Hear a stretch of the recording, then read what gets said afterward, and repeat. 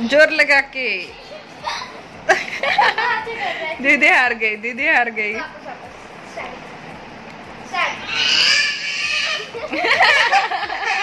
Cheating cheating cheating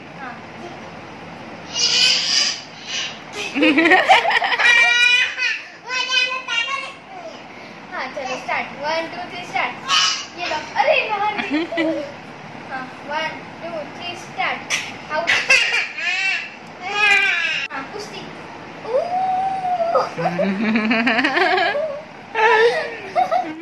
guys welcome to my channel Indian mom Kanchan so guys अभी बज रहे हैं साढ़े ग्यारह सुबह के और आज की डेट है सेवन मतलब फ्राइडे है आज का। तो बस सारे काम हो चुके हैं घर के। सुबह के जो क्लीनिंग होती है, वो भी हो गई है, सारे काम हो गए हैं। नहा धो लिया है, पूजा भी कर ली है, सारे काम मीन्स हो गए हैं अभी। तो अभी मुझे सिर्फ़ खाना ही बनाना है, अभी बैठी थी रिलैक्स होके। तो मैंने सोचा, चलो आपसे बात कर लेती हूँ, बाद में और खाना बनाने में लग जाऊँगी तो फिर मेरा आपसे बात करना नहीं होगा। और रक्षाबंधन का ब्लॉग मैंने अपलोड कर दिया है कल ही तो अगर आपने नहीं देखा है तो जल्दी से जाके देख लीजिए, आपकी रक्षाबंधन कैसी गई, आपकी राखी कैसी गई। ज़रूर बताइएगा कमेंट करके, मेरे भाई आए थे, आप लोगों ने अगर ब्लॉग देखा है तो आपको पता ही होगा। पर आए थे, दूसरे दिन ही चले गए, क्योंकि जो पूना वाला भाई है, उसको पूना में जाना था उसके कंपनी वाले बुला रहे थे इसी वजह से वो उसको अर्जेंट में वहाँ पे जाना पड़ा तो इसीलिए वो लोग ना एक दिन ही रुके, दूसरे दिन भाभी के घर घर पे खाना खाने गए, वहाँ पर फिर उनका टाइम निकल गया, दोपहर तक वहाँ पर रुके, फिर शाम को वो चले गए थे। मेरा रक्षाबंधन सेलिब्रेशन बहुत अच्छा हुआ। आपका कैसा हुआ? कमेंट करके ज़रूर बताइएगा मुझे। और माही और अदिविक ने भी बहुत अच्छे से रक्षाबंधन सेलिब्रेट किया। वहाँ पर भी गए हम लोग मतलब मेरे ससुराल, वहाँ पर भी रक्षाबंधन सेलिब्रेट किया। अगर आप मेरे ओल्ड सब्सक्राइबर हो गए तो आपको तो पता ही होगा कि हम लोग गाँव में भी जाते हैं। बट उस दिन सभी लोग घर वाले आए थे तो इसीलिए गाँव में जाना नहीं हुआ। तो हम लोग कल गए थे। कल जाके आए हैं गाँव में। और रक्षाबंधन के ब्लॉग में एक कमेंट आई थी कि आप कभी तो मंगलसूत्र पहना करो। तो यार आप लोग मेरे ओल्ड सब्सक्राइबर होंगे तो आपको पता ही होगा कि मैं हाथों में मंगलसूत्र पहनती हूँ। अगर आप मेरे न्यू सब्सक्राइबर हो तो पहले जान लिया करो यार कि अ, क्या है क्या नहीं। डायरेक्ट बोल देते हो आप लोग। और रही खुले बाल छोड़ने की बात खुले बालों पर भी बहुत सारे लोगों ने कमेंट की थी कि खुले बाल छोड़ते हो आप किचन में। बट यार कैसा है कि मैं कंफर्टेबल रहती हूँ। मैं आपको बहुत बार बोलती हूँ कि मैं कंफर्टेबल हूँ। खुले बाल छोड़ के काम करने में तो मुझे आदत हो गई है अभी खुले बाल छोड़ के काम करने के लिए। और मैंने आपको ये भी बोला है कि मेरे बाल गिरते नहीं है, इसी वजह से कोई प्रॉब्लम भी नहीं होता है। तो पता नहीं आप लोगों को क्या प्रॉब्लम होता है। मैं, मुझे यही समझ में नहीं आता, मैं हमेशा हमेशा एक्सप्लेन नहीं कर सकती हूँ आपको। यही यही बात आप लोग बोलते हो, और अच्छा भी नहीं लगता है, मैं बार बार वही कमेंट पढ़ती हूँ और आप लोगों को हार्ट दे देती हूँ फिर भी। बट हर समझ जाया करो। किसी को कुछ अच्छा लगता है, किसी को कुछ अच्छा लगता है। मतलब सारे लोगों की चॉइस सेम नहीं होती है। आपकी चॉइस जैसी है, आप अगर सोचोगे कि मेरी चॉइस भी वैसी ही होनी चाहिए तो ऐसा नहीं हो सकता है यार। क्योंकि सबकी अलग अलग चॉइस होती है और इससे पहले मैं पहनती थी गले में मंगलसूत्र बट जब से मैंने ये हैंड मंगलसूत्र बनवाया है, तब से मैं हाथों में ही मंगलसूत्र पहनती हूँ। और मुझे कोई प्रॉब्लम नहीं है, मेरे हस्बैंड को कोई प्रॉब्लम नहीं है, मेरे घर वालों को कोई प्रॉब्लम नहीं है मतलब मेरे ससुराल वालों को भी कोई प्रॉब्लम नहीं है तो पता नहीं आप लोग ऐसे क्यों कमेंट कर देते हो? जो मतलब ऐसा कुछ नहीं कि मुझे हर्ट होता है बट यार बार बार बार बार वही बात को बताना अच्छा भी नहीं लगता है। थोड़ी सी आप मेंटेलिटी चेंज करो, थोड़ा सा समझ जाया करो। और बिंदी और इसके बारे में भी बोला था कि आप कभी तो बिंदी वगैरह लगाया करो। तो यार क्या होता है कि कोई ओकेजन रहता है तो मैं बिंदी लगाती हूँ, ऐसा कुछ नहीं है कि मैं बिंदी नहीं लगाती हूँ। आप लोगों ने देखा होगा, मैं बिंदी लगाती हूँ, और राखी के दिन भी मैंने बिंदी लगाई थी। ब्लॉग में अगर नहीं देखा होगा आपको तो आप कम्युनिटी में मैंने पोस्ट डाला है तो आप वहाँ पर देख लेना कि मैंने उस पिक में बिंदी लगाई है या नहीं लगाई है। बिंदी भी लगाई है और कुमकुम भी लगाया है। तो ये सारी चीज़ें आपको बताने की ज़रूरत नहीं पड़नी चाहिए, फिर भी मैं आपको बार बार यही कमेंट आ रहे थे तो इसीलिए बताना पड़ रहा है अभी। बट मुझे भी अच्छा नहीं लगता है बार बार आपको बताना। सबकी अलग अलग पसंद होती है तो आप प्लीज़ ये मत किया करो कि आपकी जो पसंद है वो मुझ पर थोपा मत करो। प्लीज़ मतलब क्या होता है कि सबको जीने का हक है अपनी अपनी पसंद से जीने का हक है तो आप अपनी पसंद से जियो मुझे अपनी पसंद से जीने दो। छोटा वॉश करके देती हूँ ना वो? पूरा खाना है आपको? पूरा। पूरा खाना है क्या? हाँ। काट के दू? हाँ, काट के दो। ना? हाँ। दो फिर वॉश करके देती हूँ।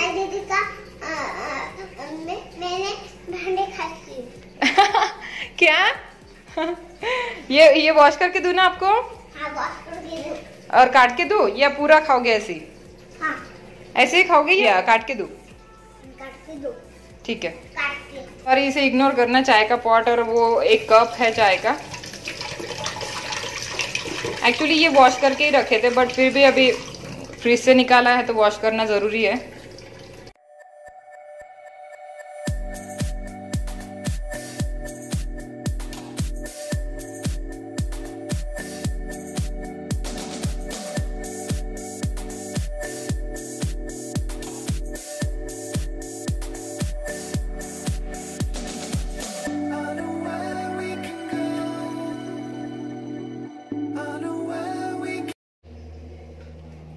लो।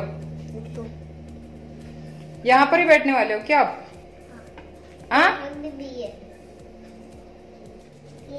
यहाँ पर सोयाबीन बड़ी भिगोने के लिए डाल दिए क्योंकि मुझे आज बनाना है सोया बटर मसाला और क्योंकि उसके लिए दही चाहिए और दही खत्म हो गया है तो मैंने इनको दही लाने के लिए बोल दिया, वो दही लेके आएँगे तो उसके बाद मैं उसकी रेसिपी आपके साथ शेयर करूँगी। बहुत ज़्यादा टेस्टी लगता है। वैसे अगर किसी को सोयाबीन बड़ी की सब्ज़ी पसंद नहीं है तो आप इस तरह से बना सकते हो। बहुत ज़्यादा टेस्टी लगेगी और आपको पता भी नहीं चलेगा कि आप सोयाबीन बड़ी खा रहे हो। मतलब थोड़ा सा एक डिफरेंट रेसिपी होने वाली है। बस थोड़ी देर में मैं खाना बनाऊँगी तो आपके साथ रेसिपी शेयर करूँगी। यहाँ पर माही मैगी बना रही है एक्चुअली उसको अद्विक को हाँ। अद्विक को मैगी खानी थी है ना? दोनों को भी। दोनों को भी इसीलिए दो बन रही है यहाँ पे। मैं अभी खाना ही बनाने वाली थी माही। लेकिन टेस्टी है ये। अच्छा कुछ भी नहीं उसमें सिर्फ़ पानी डाल दिया और वो क्या बोलते हैं मैगी डाल दी। बड़ा वाला इसको बड़ा वाला अच्छा लगता है। होने बाद मिक्सी होने वाला सब कुछ। क्या? बनने के बाद मिक्सी होने वाला बनने के बाद दो डाल दी इसने यहाँ पे आप देख सकते हो। दो डाल दिए और बनने के बाद मिक्स होने वाला है फिर भी उसको बड़ा वाला पसंद है और ये छोटा वाला मिक्स होने के बाद है ना? हाँ हाँ बड़ा वाला खाना। एक्चुअली जैसे कि मैंने आपको बताया कि मैं आज सोया बटर मसाला बनाने वाली हूँ तो उसके लिए मैंने सबसे पहले कढ़ाई चढ़ा दी है गैस पर और उसमें मैंने थोड़ा सा ऑयल ऐड किया है। ऑयल गर्म हो जाने के बाद उसमें मैंने ऐड किया है थोड़ा सा जीरा, एक चम्मच जीरा, उसमें मैंने तेज पत्ता ऐड किया है दालचीनी ऐड की है और दो चार लौंग ऐड की है काली मिर्च ऐड की है और इलायची ऐड की है। कि मैंने ये खड़े मसाले ऐड कर दिए हैं, इसे भून लूँगी थोड़ी देर और इसके बाद मैंने ये बड़े बड़े चॉप किए हुए ऑनियन ऐड कर दिए हैं। बस इसे भी थोड़ी देर होने देना है मतलब इसको ट्रांसपेरेंट होने तक ही होने देना है। हम ये ग्रेवी के लिए तैयारी कर रहे हैं, इसी वजह से हमें ये ज़्यादा भूनना नहीं है इसे। मतलब प्याज को ज़्यादा भूनना नहीं है, सिर्फ़ ट्रांसपेरेंट होने तक वेट करना है। जब तक हमारा प्याज ट्रांसपेरेंट हो है, तब तक मैंने क्या किया है कि यहाँ पर जो सोयाबीन बड़ी मैंने भिगोने के लिए डाल दी थी, वो भीग जाने के बाद उसका पानी निचोड़ लिया है और उसमें मैंने ऐड किया है एक चम्मच, बड़ी चम्मच मलाई मतलब दूध के ऊपर की जो मलाई होती है वो। और उसी चम्मच से एक बड़ा चम्मच दही ऐड किया है और ज़्यादा खट्टा दही नहीं चाहिए हमें इसके लिए। तो दही ऐड किया है और उसके बाद में ऐड किया है थोड़ा सा नमक और हल्दी। तो ये सारी चीज़ें इसमें मिक्स कर लेना है और तब तक मैंने ये जो प्याज थोड़ा सा ट्रांसपेरेंट हो गया था तो उसमें ऐड किए हैं टोमेटो और जिंजर गार्लिक पेस्ट तो इसे अच्छे से कर लेना है और इसको अच्छे से होने देना है। थोड़ी सा काजू भी डाल देना है मतलब 10 से 12 काजू डाल देने हैं इसमें और बस मिक्स कर लेना है और थोड़ा सा हम लोग इसमें क्या बोलते हैं, नमक भी ऐड कर देंगे, क्योंकि ये जो टोमेटो है जल्दी गल जाने चाहिए, इसीलिए नमक ऐड कर देंगे और बस इसे अच्छे से होने देंगे ये मसाले को। तक हमारा यहाँ पर मसाला हो रहा है, तब तक मैं क्या करूँगी, ये जो बड़ी में इसमें सारी चीज़ें मिक्स कर दी थी। बस इसे अच्छे से मिक्स कर लेना है और उसके बाद इसे थोड़ी देर के लिए ऐसी साइड में रख देना है, जब तक हमारा मसाला नहीं हो जाता। और बस मसाला जब हो जाएगा मतलब वो सारी चीज़ें गल जाएँगी टोमेटो वगैरह गल जाएँगे और ये मसाला यहाँ पर हो जाएगा। उसके बाद क्या करूँगी कि इसे ठंडा होने दूँगी और उसके बाद उसे अच्छे से मिक्सी में पीस लूँगी। इसका पेस्ट बना लेना है हमें। अच्छे से मतलब फाइन पेस्ट बनाना है। दरदरा पेस्ट नहीं बनाना है। इसका अच्छे से पेस्ट बना लेंगे उसके बाद वो पेस्ट की हमें करी बनानी है। तो त, जब तक हम लोग पेस्ट बनाते हैं तब तक हम लोग क्या करेंगे ये जो कढ़ाई गैस पर चढ़ा देंगे और उसके बाद उसमें जो बड़ी हमने साइड में रखी थी बढ़िया डाल देंगे। बस ये बढ़िया हमें फ्राई करनी है अच्छे से और इसमें ना थोड़ी सी हल्दी कम पड़ गई थी क्योंकि वो कंटेनर में हल्दी ही नहीं थी तो बाद में मैंने निकाल ली थी। तो थोड़ी सी हल्दी आप ज़्यादा ऐड कर दीजिएगा ताकि ये थोड़ी सी येलोइश दिखे। तो बस यहाँ पर हमने ये बढ़िया डाल दी है, इसे अच्छे से फ्राई कर लेंगे। और बस इसका पानी ड्राई हो जाने के बाद ये आप देख सकते हो, इस तरह से फ्राई हो गई है और बस इसे निकाल लेंगे। उसके बाद यहाँ पर ग्रेवी बनाने की तैयारी करनी है तो उसके लिए मैंने कढ़ाई चढ़ा दी है फिर गैस पे और उसके अंदर मैंने डाल दिया है थोड़ा सा ऑयल तो ऑयल ऐड करने के बाद, ये ऑयल गर्म हो जाने के बाद मैं थोड़ा सा उसमें बटर भी ऐड करूँगी, क्योंकि हम लोग ये सोया बटर मसाला बना रहे हैं, इसीलिए तो बटर ऐड कर दिया है। मतलब एक क्यूब के बाद इसे अच्छे से मिक्स कर लेंगे और जो हमने मसाला बना के रखा था तो वो मसाला हम ऐड कर देंगे। मतलब जो ग्रेवी का मसाला हमने बना के रखा था वो। और ये मसाला ऐड करने के बाद इसे अच्छे से भूनना है आपको। बहुत अच्छे से भूनना है, ताकि मसाला तेल छोड़ने लगे। और जब तक ये तेल ना छोड़े, तब तक आपको भूनते जाना है मसाले को। और उसके बाद आपको उसमें बेसिक से मसाले ऐड कर देने हैं। और ये जो सोया बटर मसाला बना था ना, इतना ज़्यादा टेस्टी बना था कि आपको मैं क्या बताऊँ?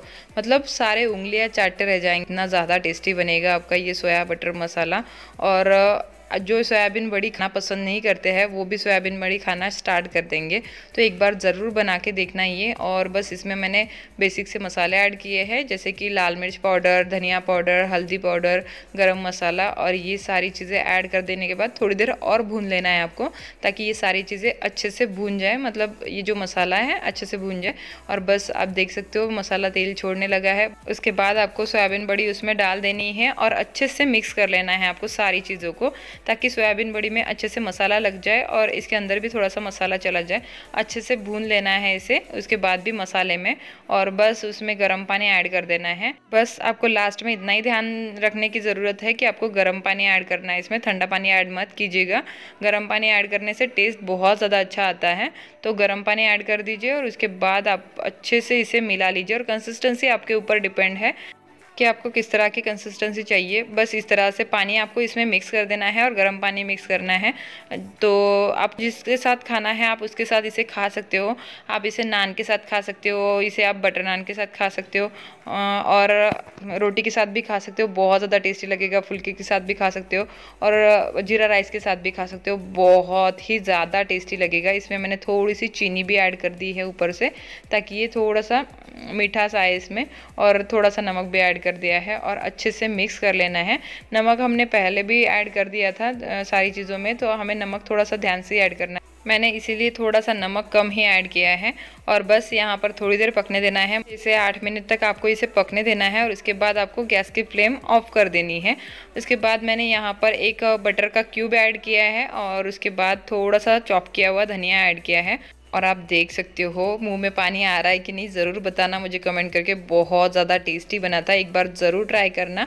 और मुझे कमेंट करके ज़रूर बताना कि आपको कैसे लगी रेसिपी यहाँ पर हमारी प्लेट लंच की रेडी है। इसमें है रोटी, पापड़ और ये हमारा सोया बटर मसाला और ये है दही का रायता, जिसमें मैंने प्याज, टोमेटो और खीरा बारीक चॉप करके डाला है और उसमें थोड़ा सा धनिया पत्ता डाला है, थोड़ी सी हरी मिर्च डाली है और इसमें नमक, काला नमक और थोड़ी सी चीनी और क्या बोलते हैं तो भुने हुए जीरे का पाउडर ऐड किया है और बस ये हमारा रायता रेडी है और यहाँ पर हम लोग लंच कर रहे थे एक्चुअली इनको ड्यूटी जाना था, इसी वजह से यूनिफॉर्म पहन के बैठे हैं। एक्चुअली वो ड्यूटी के लिए रेडी हो गए थे बट मेरा यहाँ पर खाना ही नहीं बना था। तो क्योंकि ना वो बाहर गए थे और मैंने इनको दही लाने के लिए बोला था तो वो लेट हो गए थे उधर से आने के लिए। तो इसीलिए सब्ज़ी बनानी रह गई थी। तो मैंने क्या किया, फिर वो आने के बाद जल्दी जल्दी सारा कुछ किया। मैंने सारा प्याज वगैरह, टोमेटो वगैरह चॉप करके रखा ही था। बट थोड़ा सा वो मसाला वगैरह भूनने में टाइम लग ही जाता है। थोड़ा सा सब्ज़ी बनाने में तो आप लोगों को पता ही है टाइम लग जाता है। फिर भी मैंने अपनी तरफ़ से कोशिश की जल्दी जल्दी बनाने की तो यहाँ पर हम लोग लंच कर लेंगे और उसके बाद वो ड्यूटी चले जाएँगे। चलो फिर बाय हाँ।